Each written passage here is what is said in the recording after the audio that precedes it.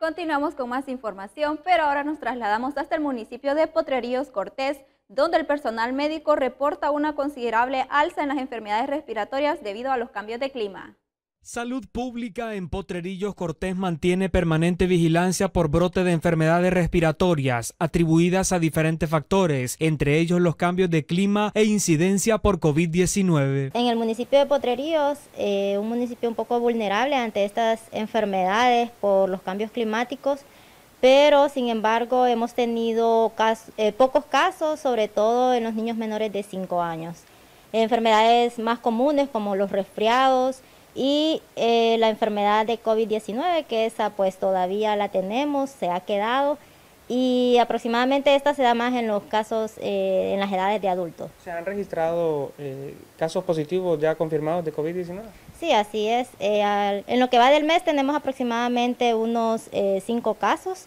En cuanto a COVID, también tenemos la enfermedad de dengue, que no la podemos dejar por, por un lado, porque ahorita estamos prácticamente en una epidemia de, dengue a nivel nacional. ¿Estas enfermedades respiratorias con qué tanta agresividad eh, están eh, afectando a la población?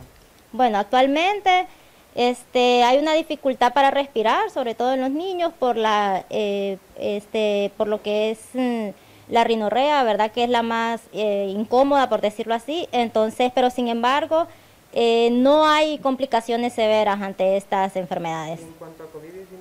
COVID-19 igual, ¿verdad? Aislamiento, el uso de la mascarilla, que es lo más importante, este, pero sin embargo no hay complicaciones severas. ¿Insumos, doctora, recursos humanos, cómo actualmente están trabajando? Bueno, actualmente tenemos medicamentos en aproximadamente un 85% abastecidos y sin embargo el recurso humano pues también, eh, gracias a Dios lo tenemos, estamos atendiendo a, la, eh, a la, toda la población que se, que se presenta aquí al centro de salud conforme a los médicos y también a enfermería. El llamado siempre a acudir oportunamente y no automedicarse. Así es, esto es lo más indicado, hacerse eh, la prueba de COVID-19 que actualmente pues lo tenemos, lo vuelvo a repetir, la gente eh, acudir a la vacunación también que es muy importante para eh, disminuir los síntomas de esta enfermedad cuando nos llegue a, a contagiar, pero sin embargo, ¿verdad? Eso es lo más importante, la vacunación. Este es un informe para Villavisión Noticias, siempre junto a ti.